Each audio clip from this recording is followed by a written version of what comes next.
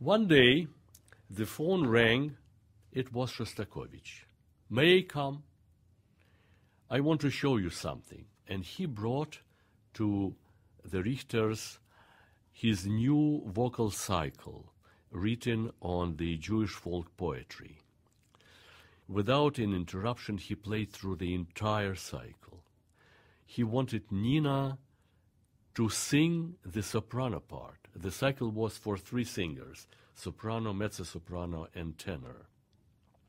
And also, he wanted herself to select her partners. As soon as he left, Richter said to Nina, Ninочка, do you realize what just happened? You understand who visited us? It's if Tchaikovsky has come to us. Just imagine. Seven years after it was composed, three years after Stalin's death, only now Shostakovich thought it was possible to perform. And you have a recording of Nina singing this with Shostakovich at the piano, right? That's right. And this is the first, not only people who performed it first, but it's the first recording of this cycle thank you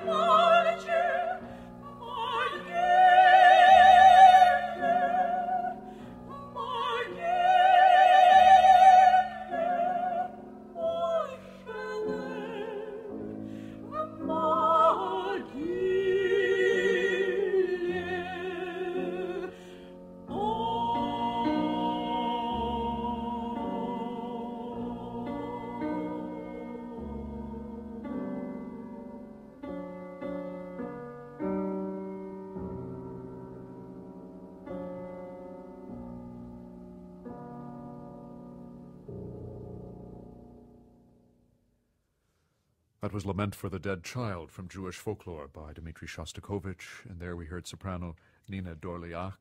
And who was the mezzo? Uh... Zara Dolukhanova.